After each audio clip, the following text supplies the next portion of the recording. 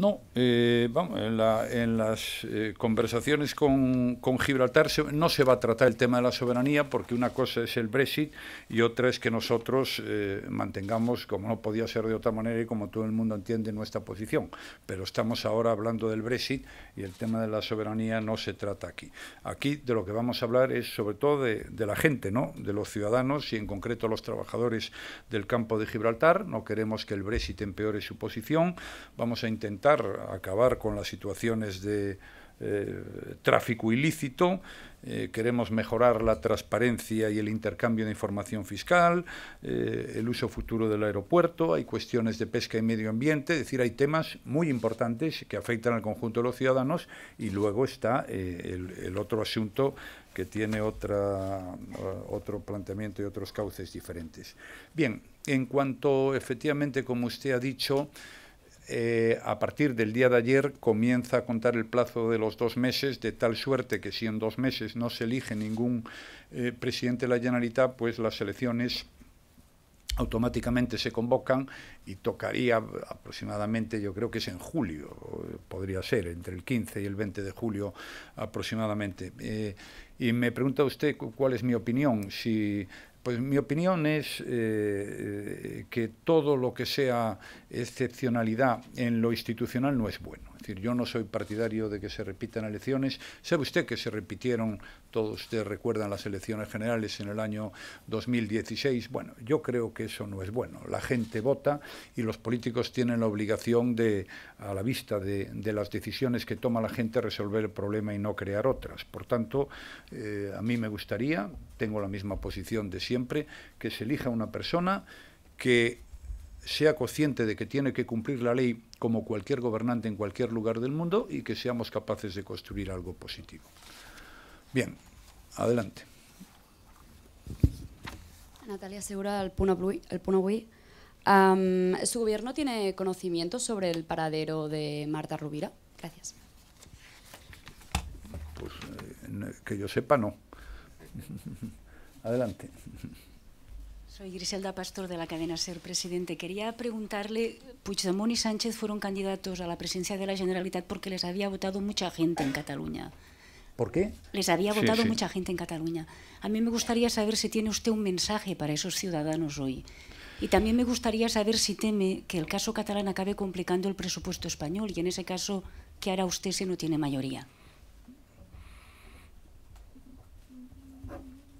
No ser. Eh, el primer tema, eh, ¿qué le diría yo a, la gente que ha votado a, esos partidos y a cualesquiera otros partidos? A todo el mundo haya votado, al partido político que haya votado, le diría que usted tiene derecho a votar lo que estime oportuno y conveniente. En España se pueden defender todas las ideas y todas las ideas se pueden presentar a las elecciones, pero todos defiendan las ideas que defiendan, tienen la obligación de cumplir la ley.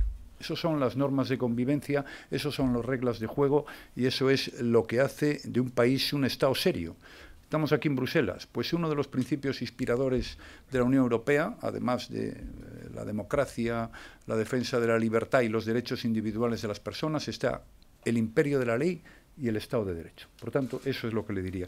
En cuanto al presupuesto, no lo creo. Es decir, eh, una cosa es el presupuesto y otra cosa son los acontecimientos que estamos viviendo. A mí me gustaría que a la mayor celeridad posible fuéramos, eh, se arreglara este tema, eh, como le he dicho antes, que hubiera un gobierno, eso le corresponde a los partidos de Cataluña, y yo espero que sean capaces a la mayor celeridad de, de resolver esto, y otra cosa es el presupuesto, que como hemos dicho ya en alguna ocasión, pretendemos aprobar el próximo martes en un Consejo de Ministros.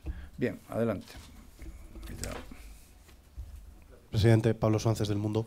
Eh, quería saber solo si nos podía explicar un poco em, si espera algo diferente estos próximos días para que haya tenido que cancelar el, el viaje de Angola. Y una segunda pregunta, si me permite, sobre Rusia. Quiero ver si he entendido bien de su respuesta que España solo se plantea la posibilidad de, llamar a consultas a embajador o de expulsar diplomáticos o a presuntos espías si hay consenso absoluto dentro de la Unión Europea y no si hay división entre los países. ¿Es así? Mm, no exactamente. Es decir, lo que vamos es a escuchar a todos ¿eh? y, y vamos a tomar todos unas decisiones similares, ¿no? Eso es lo, lo que pretendemos nosotros, eso es lo que me parece más razonable, ¿no? Es decir, en el día de ayer la única decisión que tomamos es, oiga, ¿están ustedes de acuerdo en que se llame a consultas a nuestro embajador? Sí. Bueno, pues ahora eh, vamos a lo largo de, estos días eh, a hablar entre nosotros y a tomar unas decisiones que ya veremos eh, cuáles son y que sean similares entre todos los países de la Unión. No, en cuanto al tema de Angola, bueno, mm, estos días, pues eh, yo llevo dos días en Bruselas y me parecía que era importante eh, una situación como la que se está viviendo. Ayer un, pleno de las características del que vimos ayer, hoy eh, pues lo que se está produciendo en el Tribunal Supremo, mañana está en principio convocado otro pleno, pues yo creo que es importante que el presidente del Gobierno esté en Madrid. En el bien entendido que retomaré mi viaje a Angola a la mayor posible, como ya le hemos transmitido a las autoridades angoleñas que allí nos invitaron. Bueno, señoras y señores, terminamos. Muchísimas gracias.